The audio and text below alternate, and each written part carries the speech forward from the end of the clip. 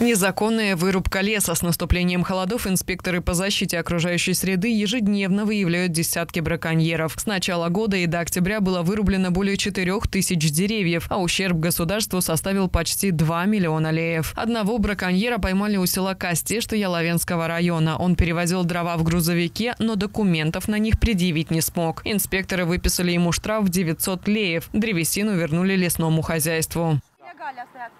Legale astea. Dar unde e autorizația? Că văd că nu aveți. O aduce. Cine o aduce? Pădurean. Așa arată una dintre multiplele porțiuni de pădure unde copacii au fost tăiați ilegal.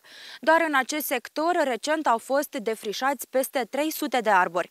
Este vorba în mare parte despre stejari și frațini care avea o vechime de peste 80 de ani.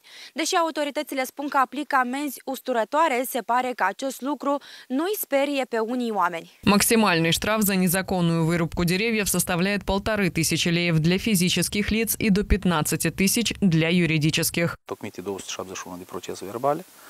Avem aplicate amenzi în jur de 700 de mii. Мы составили 271 протокол и выписали около 700 штрафов. Чаще всего вырубают дубы, ясени, акации, то есть твердые породы, которые можно использовать в разных целях. Надо ужесточить штрафы и другие наказания для тех, кто вырубает деревья в лесах. В нашей стране лесные массивы занимают 400 тысяч гектаров.